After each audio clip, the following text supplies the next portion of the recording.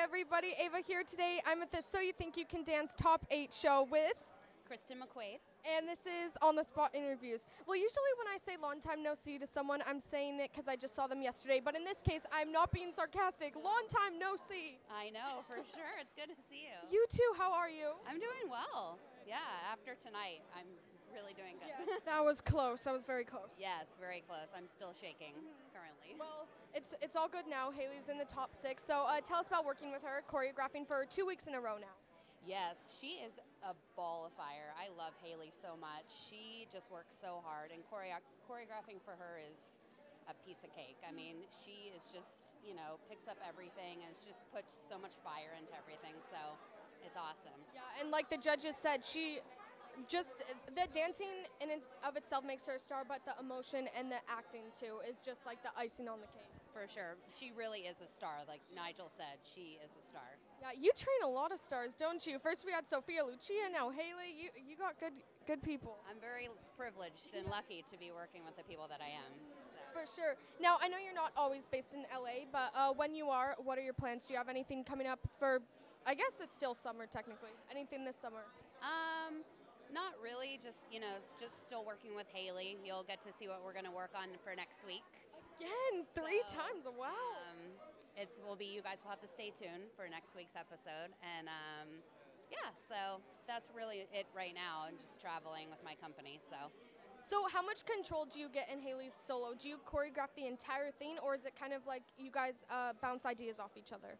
Um, I choreograph the majority of it, and then she'll bounce through like a little tricks, like she'll that front flip that she did down to the floor. She was like, I really want to put that in, so was something that she wanted to put in. So I was like, for sure, we'll Yeah, put that well, in. It made it all the more better.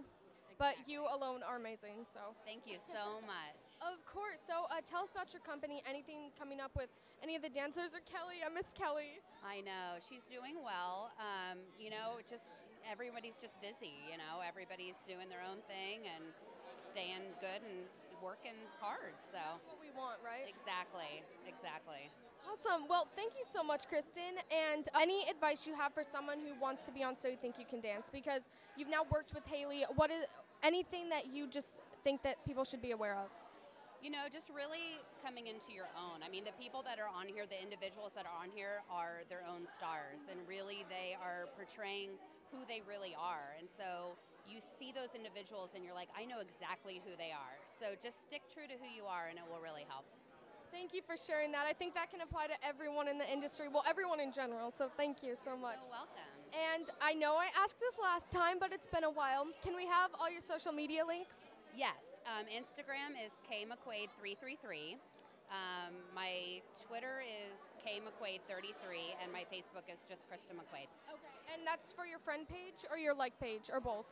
Um, my friend page. Okay. Yeah, but everyone can friend me. Yes, we're friends on there. And- 5,000 people, I think, is the limit, but okay, well, yeah. 5,000 people can be Kristin's friend. Yes. Cool. Thank you so much. It was so great to see you again. Thank you so much for having me. I hope to see you again next week. Yes, definitely. Thank you. Of course.